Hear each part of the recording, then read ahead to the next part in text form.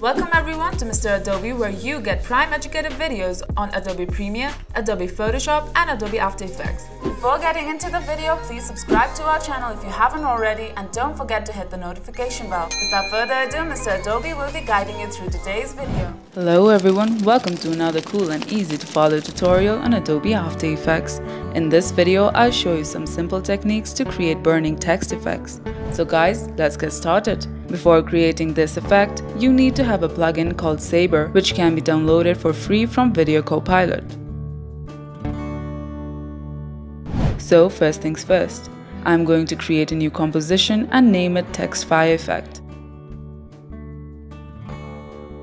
After naming it, click on OK. Next, go to the Tools panel and use the Type tool to type in your desired text. For instance, I am using the word fire to create my fire effect in this tutorial. Make it nice and big and place your text at the center so that it looks good. After that, create a new solid layer and add a name to it. I am naming it Saber Effect. Then click on OK. Now jump to the Effects and Presets panel and search for the Saber plugin that we downloaded. Drag and drop it over the Saber effect layer. Next, in the Effects Control panel, drop down the options for Customize Core. Here you can see Core Type. Hover your mouse over it and select Text Layer. Just below the Core Type, you will see the text layer. Hover your mouse on it and select your text, as I am selecting Fire. Now from Presets, choose Fire. You will then see the burning text in your main composition panel. Now let's add keyframes to animate the text so that it looks like this.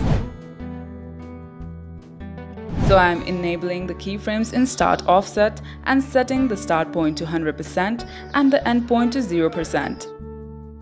After that, hit the U key to view the keyframes that we added in the Saber effect layer. Also, easy ease for smooth animation. Wow, it looks cool. This is our final burning text. Also, you can customize some of the parameters. However, you can also create really cool burning texts using just the default settings.